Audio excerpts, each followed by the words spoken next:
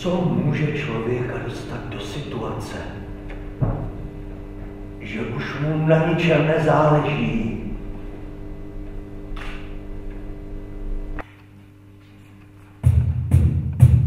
Přišel Hitler a byl konec, to bylo hrozný slovo.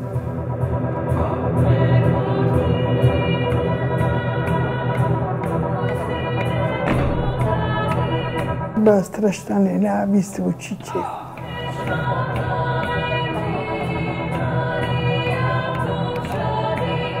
U nás oni jeden den eh, přijeli a další den už jsme měli domovní prohlídku, už hledali zbraně a už prostě nás, to, to bylo hrozné. Já jsem cítil vlastně nějakou potřebu se vyjádřit eh, k, ke kraji, který je vlastně takový určoval z části prostě mou identitu. Jakoby v zásadě ta hra samozřejmě přináší nějaké informace o historii, ale já se pokouším o těch věcech mluvit v taky jako emocionální úrovni. Jak přežít následky svých činů? David Jařab mi napsal dokudrama o Hojčínsku. To znamená, že to není nějaký dokumentární příběh s historickými fragmenty. Je to skutečně čistý divadelní příběh. To, co jsme slyšeli z té skutečnosti, tak najednou můžeme pocítit na vlastní kůži díky té divadelní nebo uh, herecké formě. Proč já tolik Proč já? Abys mě tady nenechala samotného.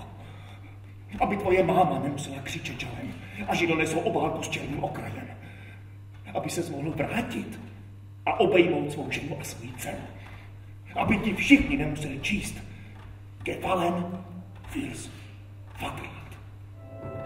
Je to příběh o jakési veliké lásce, která, když by se to odehrávalo někde za nějaké normální okolností, tak by v podstatě byla nějakým způsobem naplněná, ale, ale díky tomu, že ta historie obrovským způsobem zatočila s těmi osudy, tak vlastně narušila něco, co by, co by z lidského hlediska bylo pevné a bylo jedinečné.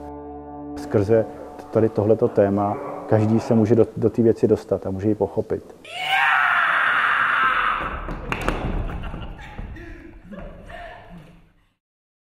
V lednu 640 přijela ploty, všecko to neexistovalo, vypálené, dobytka nebylo, protože to bylo taky všecko Viděl jsem nejen úplně rozbitou zemi, ale takový zvláštní, neproniknutelný oblak prachu. A mám pocit, že to tak úplně ještě nezmizelo.